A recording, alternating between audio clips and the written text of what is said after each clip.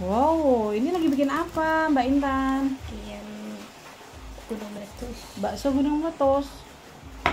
Nih cetakan eh, adonan bakso yang mau dicetak pakai cetakan tumpeng kayak gini. Nah, ini setnya namanya Intan.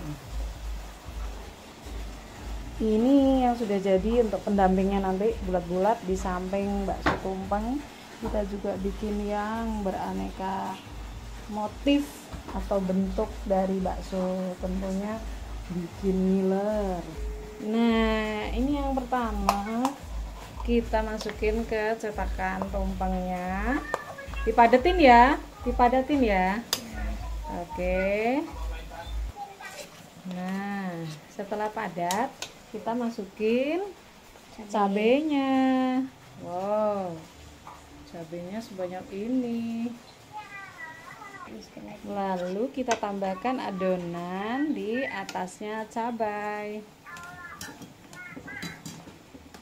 Sampai merata ya tertutup. Kalau sudah rata, kita masukkan ke dalam air mendidih seperti ini. Dibolak-balik, diputar-putar supaya copot. Kalau sudah copot, kita angkat, jadilah bakso tumpeng. Nih tumpengnya. Wow. Ini contoh yang tadi kurang padat ya. Jadi kalau dia padat nanti halus seperti ini. Mulus.